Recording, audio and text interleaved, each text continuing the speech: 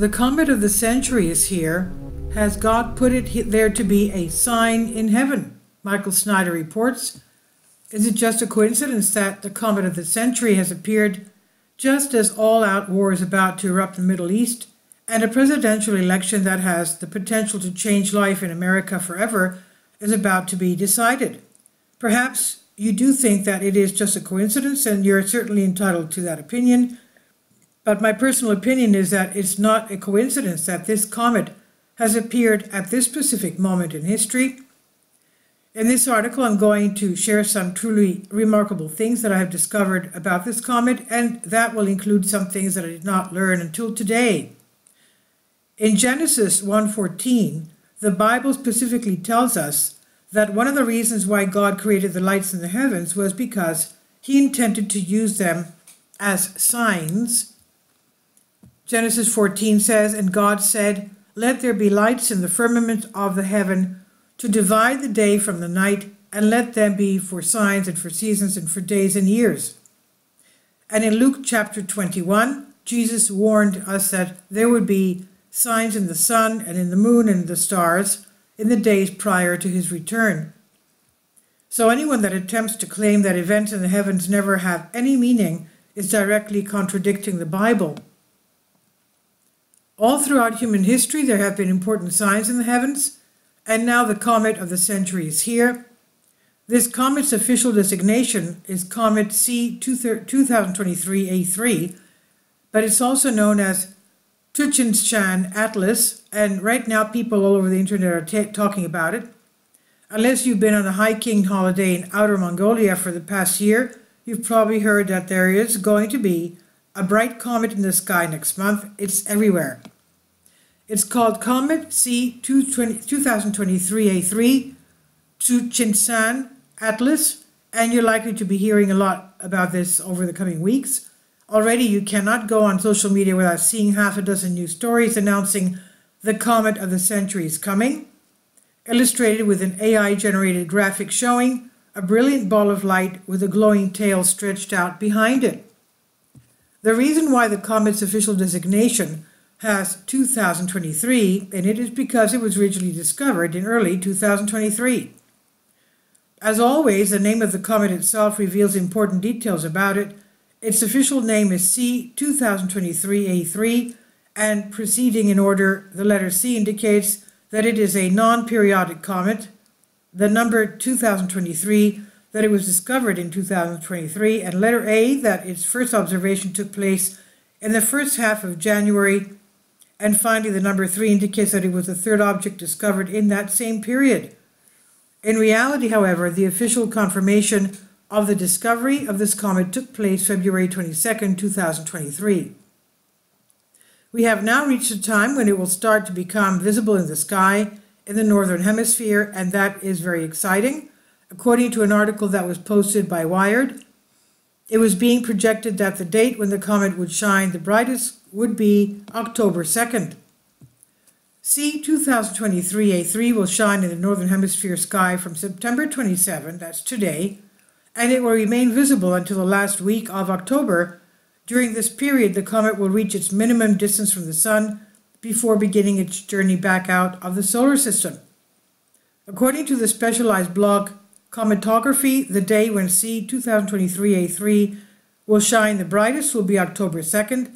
The comet's tail will be long and spectacular at this point due to its proximity to the Sun. As I discussed in a previous article, Rosh Hashanah begins at sundown on October 2nd. In addition, there will also be the Ring of Fire solar eclipse on October 2nd. So on Rosh Hashanah, the comet of the century will be brightest in the exact same time that a spectacular Ring of Fire eclipses appearing in the sky. That is quite a coincidence. There will only be two solar eclipses during 2024.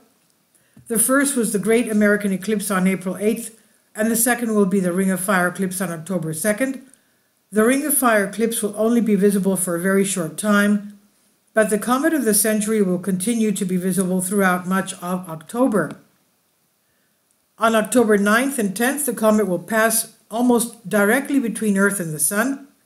Thanks to a pure good fortune, Comet C 2023A3 Tsuchinshan Atlas will then pass almost directly between the Earth and the Sun on October 9th and 10th, and this could cause a spectacular brightening of the comet thanks to forward scattering caused by its dust. Imagine looking towards a bright light source through a cloud of dust grains. The grains nearest to the light source will scatter light from a source back towards you. If conditions are just right, and right now we don't know if that will be the case or not, there is a possibility that this comet could actually become visible during daylight hours for a short period of time. As the comet swings between Earth and the Sun, it will be perfectly placed for this forward scattering process to occur. And if the comet is particularly dusty, this could cause it, its apparent brightness to increase up to 100 times. If it does, there's a small chance the comet could briefly become visible in the daylight sky October 9th and 10th. We won't know for sure if this will actually happen until then, but if it does happen, it will make news all over the globe. Subsequently, the comet of the century will come closest to our planet on October 12th. By the time C 2023A3 passes closest to the Earth on October 12th, sky watchers can find it in the evening sky shortly after sunset. And it turns out that Yom Kippur just happens to fall on October 12th this year. That's right. The comet of the century will be closest to Earth on one of the most important days on God's prophetic calendar. But I suppose that is a coincidence too. We're being told that the comet will appear to rapidly climb in the western sky and will become a bright naked eye object for a few days, starting on Yom Kippur. After swinging between Earth and the Sun, the comet will appear in the evening sky. It will rapidly climb in the western sky and would be a bright, should be a bright naked eye object for a few days from October 12th. The sliders will be given, uh, will give you a sense of where to look for the first few days of this period, the comet will shift, still benefit from the forward scattering of sunlight, but this will decrease as it moves away. Could this comet be a sign of war? Could this comet be a sign of war? We're so close to the unthinkable, and it appears that there will be no turning back now. Israel Foreign Minister Israel Katz announced that his nation will continue to fight against the Hezbollah organization with all our strength, he said, until victory and the safe return of the residents of the, to the, of the north to their homes. That means that there's a war coming. And as I write this article, we're only about 40 days away from the most pivotal presidential election in any of our lifetimes. At this point, everyone should be able to see that we are entering a period of extreme chaos. But a lot of people out there have not wanted to listen to any of the warnings, and they certainly are not interested in any signs in the skies that is extremely unfortunate because none of us will be able to avoid what is coming soon coming upon this planet. This is by Michael Snyder on the Economic Collapse blog. Please leave your comments and thank you for your support. About the author, Michael Snyder's new book entitled Why is available in paperback and for Kindle on Amazon. He's also written eight other books available on Amazon including chaos, end of the end times, seven year apocalypse, lost prophecies, future America, the beginning of the end, and living a life that really matters. When you purchase any of Michael's books, you help to support the work that he's doing. You can also get his articles by email as soon as he publishes them by subscribing to his Substack newsletter. Michael has published thousands of articles on the Economic Collapse blog, End of the American Dream, and the most important news. And he always freely and happily allows others to republish those articles on their own websites. These are such troubled times and people need hope. John 3:16 tells us about the hope that God has given us through Jesus Christ.